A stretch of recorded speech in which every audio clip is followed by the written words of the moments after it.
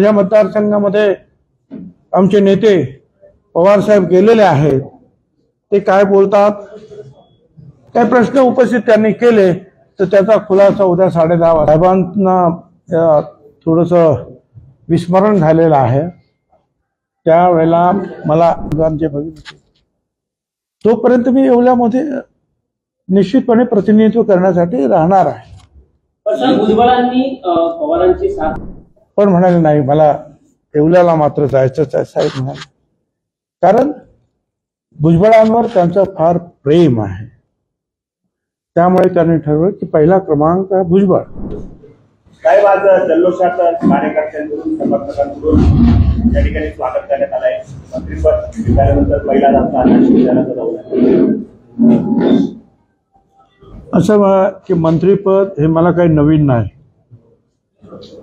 एकोणीसशे एक्क्याण्णवपासून एक्क्याण्णव सालात मी महसूल मंत्री झालो. तेव्हापासून अनेक वेळा शपथा घेतल्या. सरकारमध्ये राहिलो सरकारच्या बाहेर गेलो. त्याचं काही जास्त अप्रूप नाही. पण अलीकडच्या ज्या काही घटना झालेल्या आहेत दोन हजार चौदा पासून तर परवापर्यंतच्या त्या सगळ्याचा उहापोह मुंबईच्या रॅलीमध्ये अजितदादासह सगळ्यांनी केलेला आहे. त्यामुळे मी आज आपल्याबरोबर मी काय अधिक काही बोलणार नाही. पण मला आनंद आहे. मुंबईला निघाल्यानंतर ठाणे कल्याण भिवंडी इगतपुरी सर्व ठिकाणी मोठ्या जल्लोषामध्ये राष्ट्रवादी काँग्रेस पक्षाच्या पदाधिकारी आणि कार्यकर्त्यांनी माझं स्वागत केलं. नाशिकमध्ये इगतपुरी खोटी प्रचंड मोठं स्वागत झालेलं आपण पाहिलं. पाथर्डी नाक्यावर सुद्धा हजारोंचा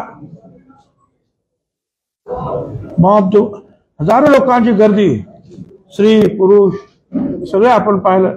छत्रपती शिवराय बाबासाहेब आंबेडकरांच्या पुतळ्याला हार घालताना सुद्धा हजारो लोक तिथे होते. महिला मोठ्या प्रमाणामध्ये होते रामदास आठवलेचे जे Republican part of Republican Party of इंडियाचे सगळे प्रमुख जे आहेत त्यांनी सत्कार केला.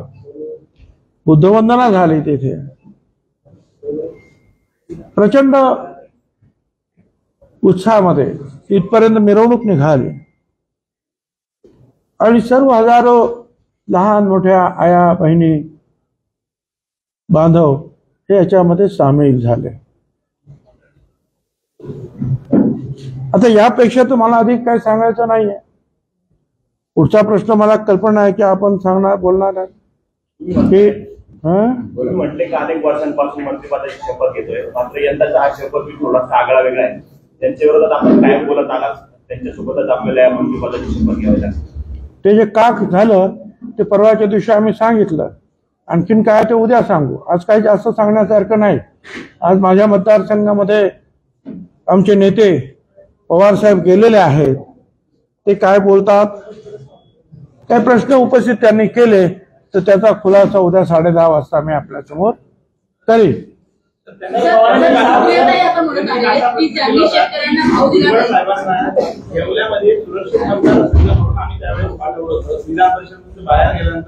त्यांना विधानसभेत यायचं होतं एवढा सुरक्षित होता म्हणून आम्ही त्यांना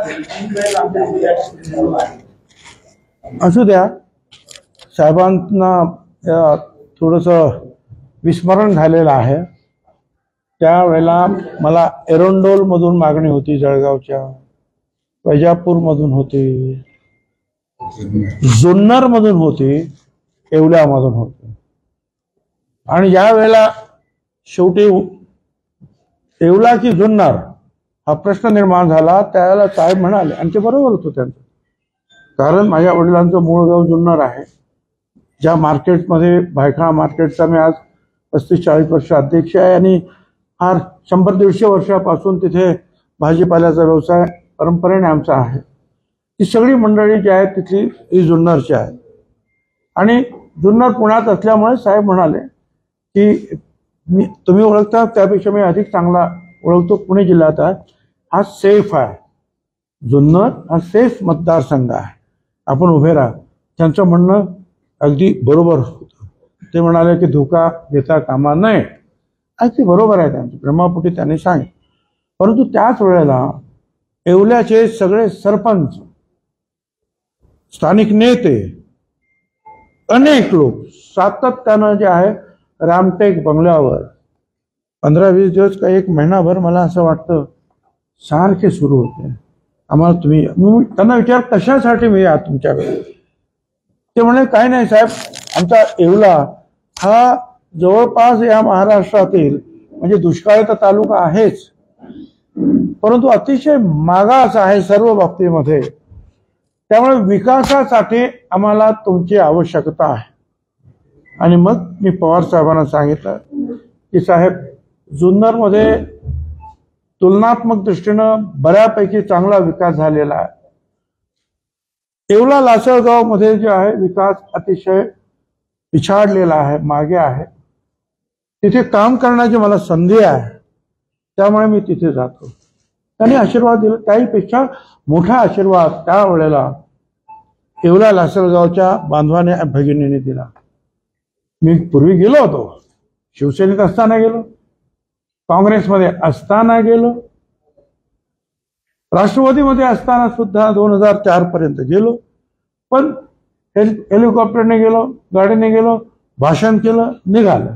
निवडणुकीला गेलं भाषण केलं निघालं पण असं काय येवल्याच्या काही गल्ल्या गल्ल्यातून कधी फिरलो नाही किंवा लोकांना भेटलो नाही. परंतु त्या लोकांनी सगळ्यांनी भरभरून प्रेम मला दिलं आणि मोठ्या बहुसंख्येनं मला निवडून दिलं. मग एकदा दिलं. मग ते म्हणाले एकदा दोनदा दिल्यावर काय रिपीट होत नाही. मग चारदा त्यांनी निवडून दिलं. तर त्यांचे जोपर्यंत आशीर्वाद आहे या सगळ्या बांधवांचे भगिनीचे तोपर्यंत मी येवल्यामध्ये निश्चितपणे प्रतिनिधित्व करण्यासाठी राहणार आहे.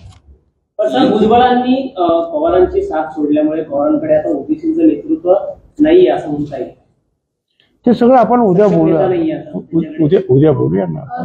साईंचं असं म्हणणं आहे की ज्या सरकार भाजप सरकारने शेतकऱ्यांना साथ दिली नाही ज्यांनी कांद्याला भाव दिला नाही अशा सरकारमध्ये भुजबळ जाऊन सामील झाले उद्या आपण सगळं बोलता येईल ना आपल्याला. आणखीन काय काय बोलतात ते तर तुम्हाला काय बोलले यांना काय बोलले त्यापेक्षा तिथे काय बोलता आहेत सगळी मंडळी. त्यांना जे आपल्याला खुलासा केला तर बरं होईल आणि आणि मी पण हे साहेब आज पहिल्यांदाच तिथे काय गेलं याच्याबद्दल मी सांगितलं का यांना? नाही ना आता? बाहेर सांगितलं. काही लोक विचारतात की एवढाच पहिल्यांदा काय केले साहेब? पहिल्यांदा आंबेगावला जायचं ठरलं होतं पुण्यामध्ये. नंतर येऊला करून नंतर धुळे आणि जळगावला जाणार. सगळ्या सभा रद्द करण्यात आल्या. पण म्हणाले नाही मला येवल्याला मात्र जायचंच आहे साहेब म्हणाले. कारण भुजबळांवर त्यांचं फार प्रेम आहे. त्यामुळे त्यांनी ठरवलं की पहिला क्रमांक आहे भुजबळ. बरं पहिलाच क्रमांक का? तर राष्ट्र काँग्रेस पक्षातून पवार साहेब संगमा आणि तारिक अनवर यांना बाहेर काढल्यानंतर मुंबईत आल्यानंतर एटेन बंगला जो मी तिथे विरोधी पक्षनेता होतो काँग्रेसचा. तिथेच बैठक झाली ठरलं की आपण दुसरा पक्ष काढायचा. आणि त्यावेळेला त्याच बंगल्यामध्ये पक्षाचं नाव चिन्ह ध्वज माझा जुना माझगाव मतदारसंघ तिथून एक हजार ॲफिडेव्हिट हे सगळं करण्यात आलं. आणि पवार साहेबांबरोबर या राष्ट्रवादी काँग्रेस पक्षामध्ये येणारा मी पहिला. मी विरोधी पक्ष नेता होतो. काँग्रेस पक्षानं अनेक किती नावं सांगायची. आता जे आहेत सध्या त्यापैकी मुकुल वासनिक आहेत कलमाडी आहेत बाकी पायलट असतील शिला दीक्षित जे असतील ऑस्कर फर्नांडिस असतील माधवराव शिंदे अशी अनेक मंडळी जी ती गेली. जॉर्ज म्हणून ते सोनिया गांधींचे सहाय्यक होते ते. तुम्ही या आम्ही तुम्हाला पुढचा मुख्यमंत्री म्हणून जाहीर करतो. पण मी ठरवलं की नाही मी पवार साहेबांबरोबर जाणार मी कुठेही. ते म्हणजे या तुम्ही फक्त पुढचा मुख्यमंत्री तुम्ही. म्हटलं नाही. त्यामुळे पवार साहेबांबरोबर पहिला जाणारा मी म्हणून मी पहिला प्रांताध्यक्ष. त्यावेळेला आता असलेली लोक जे आहेत ते मतदारसंघामध्ये मतदान करत होते जावं की नाही. त्यामुळे पहिला नंबर मी त्यामुळे स्वाभाविक साहेबांचं पहिलं मी भाषण जे आहे किंवा सभा आहे ती माझ्याकडेच होणार तो माझाच अधिकार आहे.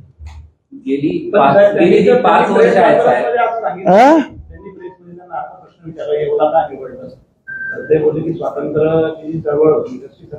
आहे. आणि मी तिथे चाललो नाही मी कुठे करतोय? आम्ही कुठे करतोय? आम्ही आणि त्याच्यानंतर त्या त्यांच्या प्रेस कॉन्फरन्समध्ये एकदम जे काही त्यांना प्रश्न विचारला गेले ते एका मोडमध्ये होते. त्यांनी कोणत्याही प्रश्नात कुठला हल्ला केला नाही. मी कुठे मी तर म्हणालो की त्यांचं माझ्यावर प्रेम आहे. इथूनच मी संवाद केलेला आहे. आणि माझ्याकडे त्यांनी पहिला येणं हा माझा अधिकारच नाही का? मी कुठे काय त्यांच्यावर टीका करतोय? बाकी एक आहे मुंबईमध्ये सुद्धा चले जावची चळवळ मुंबईच्या ऑगस्ट क्रांती मैदान सुरुवात झाली. आणि महाराष्ट्रात फैजपूरपासून अनेक ठिकाणी जे आहे स्वातंत्र्याच्या लढाईची सुरुवात झाली. पण ठीक आहे. साहेबांनी तात्या टोपे यांचं जन्मगाव निवडलं. भुजबळ ते काम करतात उत्तम गोष्ट आहे आनंद आहे.